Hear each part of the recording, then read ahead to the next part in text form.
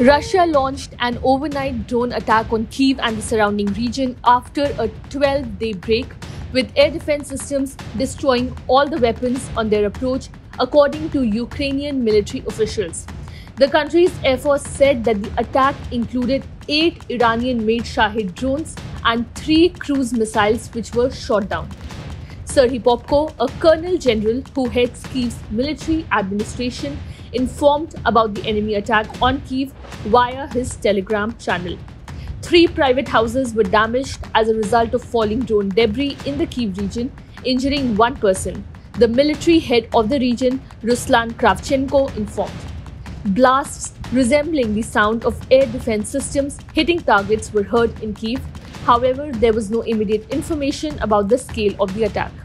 The attack came a day after Ukrainian officials reported more civilian casualties from Russian shelling in the country's east and south.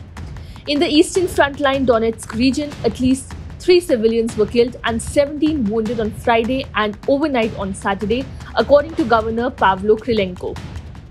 The Ukrainian General Staff reported that fierce clashes continued in three areas in Donetsk, where it said Russia had massed troops and attempted to advance.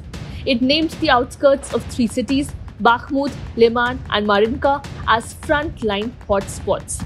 In Ukraine's southern Kherson region, five people, including a child, were wounded on Friday, as well as in overnight attacks, according to Governor Alexander Prokudin. He said that Russian forces launched 82 artillery, drone, mortar shell, and rocket attacks on the province, which is cut in two by a stretch of 1500 km front line and still reeling from flooding unleashed by the collapse earlier this month of a major Dnipro River dam.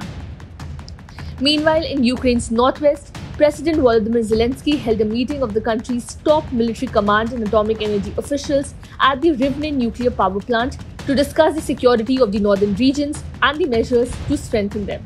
Zelensky's trip to Rivne was a rare journey for the Ukrainian leader to an area relatively far from the fighting but it is near the border with Belarus, where Russia's Wagner mercenaries have a deal to go after last week's aborted uprising. The leader Yevgeny Prigozhin was offered the option of resettling in Belarus on Ukraine's northern border. Separately, earlier on Saturday, Zelensky warned that a serious threat remained at the Russian occupied Zaporizhia nuclear power plant in Ukraine's south and said Russia was technically ready to provoke a localized explosion at the facility.